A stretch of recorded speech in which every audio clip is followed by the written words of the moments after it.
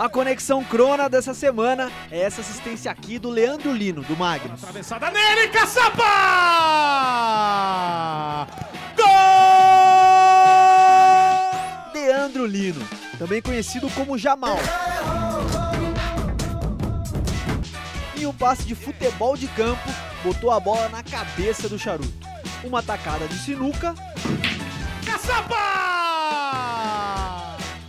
Isso mesmo, Dó. Caçapa do charuto. E a assistência foi tão linda que a rapaziada toda do Magnus foi lá, ó, comemorar com ele. Bem demais, hein, Lino?